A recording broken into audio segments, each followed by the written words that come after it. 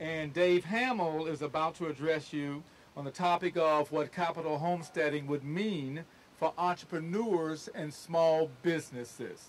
Amen. Please welcome Dave Hamill. Thank you, Bob, and all of CESJ, and the members of the Coalition for Capital Homesteading. And that is a great question. How will capital homesteading affect small business and the entrepreneur? It's a very important question because the SBA numbers show that more than half of all new jobs are created by small businesses. So they are essential for our economy. And that's exactly why I support the one thing that will explode small business growth, capital homesteading. Before I explain how, let me say to anyone with suspicions, I really am Dave Hamill, not Mike Huckabee. I actually worked on his 2008 campaign, though, and more than once I found myself being hugged and kissed by little old ladies who had left their eyeglasses at home. but, uh, it, it, you know, I look a little bit like him and I think a little bit like him, but I'm, I'm not trying to claim that this diverse coalition is made up of Huckabee supporters. But you may benefit from some of the things I learned working with those economic conservatives, many of whom were business owners. We were looking for leaders and reform proposals that are fresh and creative, which help the average productive American without using tax money or government bureaucracy. But unfortunately, the campaign's common sense solutions were not backed by the establishment. Even Rush Limbaugh criticized Huckabee, calling, calling him a populist. But when the top 1% is worth more than the bottom 90%, why is it bad to be called what Abe Lincoln, Teddy Roosevelt, and even Ronald Reagan were? They all found ways to help average Americans own productive farms, shops, and family enterprises by passing laws like the original Homestead Act and keeping what I call a low-burden environment for these essential small businesses. But I admit, certain kinds of populism can be bad. Good populism helps the average person without tax and spend redistribution. Bad populism does use tax money and creates bureaucracy. I think understanding this distinction is one of the reasons for Ronald Reagan's success. But conservatives today rarely mention support of employee ownership and appointing Norm Kurland to the Task Force for Economic and Social Justice. And they never mention Ronald Reagan in his endorsement of industrial homesteading, now called capital homesteading. But these are good examples of populism. Politically, they get votes. And more importantly, economically, they produce wealth and put it in the hands of many without taxes or bureaucracies. Some say we need more government programs to help small business, even if they involve bureaucracy. Well, standing here in the home of what is unfortunately the largest buyer on earth, the U.S. government, I'm reminded of my most recent experience with bureaucracy. I was selling a product on a small scale to some federal prisons and DOD facilities, and some of the buyers said, Dave, you need to get a GSA contract. Well, I decided to try, and I spent about four months of sleepless nights restructuring the order systems, catalogs, putting non-discrimination policies in writing, filling out online and paper forms, inputting data into and learning their antiquated, clumsy SIP software system, and of course, spending money for printing, PC upgrades, third-party certifications that took weeks, and as you can imagine, dramatic increases in the coffee and ibuprofen budgets. Well, we did eventually get the GSA contract, but the story doesn't have a happy ending. We picked up some business, and although we had the best product at the best price, the buyers preferred large business vendors with hundreds of field reps.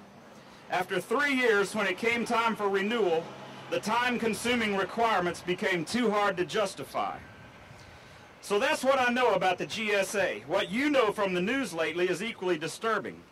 Ironically, one of the worthless forms I had to fill out involved forecasting annual contract value. Optimistically, I put down a target of 850,000. Well, that number did turn out to have GSA significance, but sadly it was not my sales volume. It was the exact amount of hardworking citizens' money the GSA spent throwing a contrived, lush award ceremony in Las Vegas for their made-up Jackass Award. Well, I hope I was at least a nominee for that award for believing I could achieve small business success by dealing with the government. and apparently I'm not the only one the bureaucrats can laugh at. Last year's survey of small business owners by the SAGE Group found that government bureaucracy is the biggest problem to surmount in small business.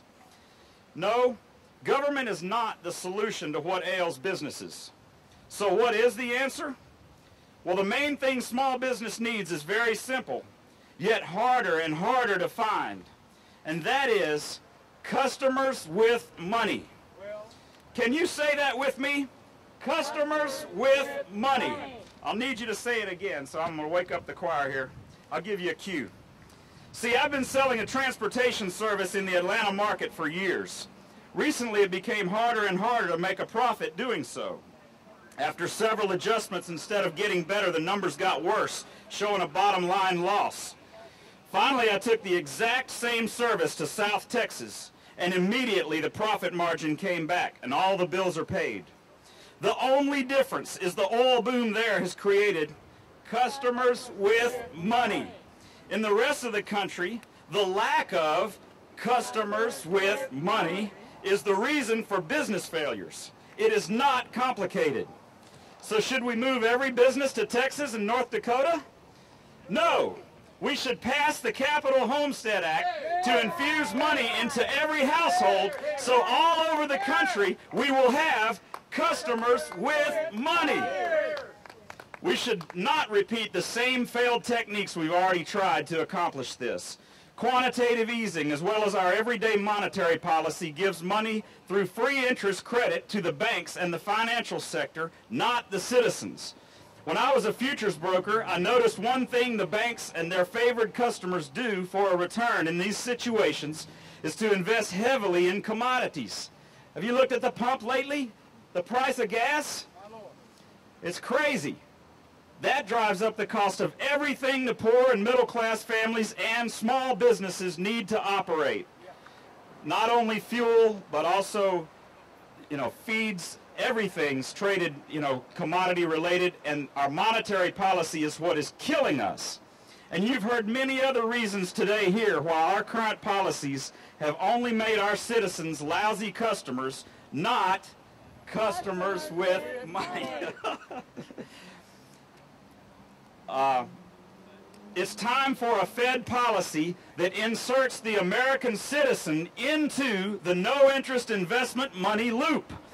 Then consumers will build wealth and become customers with money to buy from America's small businesses. The answer to the ails of small business in this country is capital homesteading.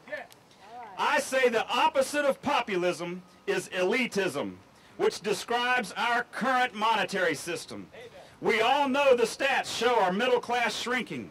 It's because we have both economic elitism for the rich and dependency socialism for the poor. And unfortunately, the middle is joining the lower, not the higher group. Business people, our customer base is going away. So where are the proven examples that you can look to of how to make a better customer base to get customers with money?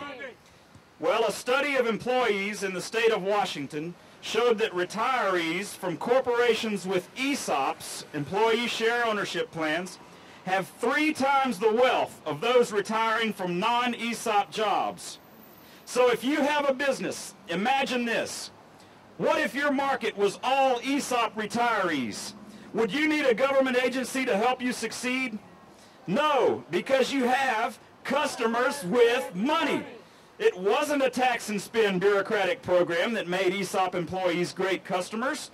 Just a good populist law that allows the existing of a creative business structure. Well, small business owners, the entire United States population can be your ideal market customers with money. The equivalent of an ESOP plan for every citizen is a capital homestead account.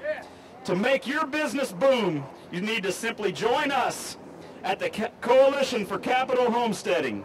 Go to capitalhomestead.org today and help us get this legislation passed. Thank you.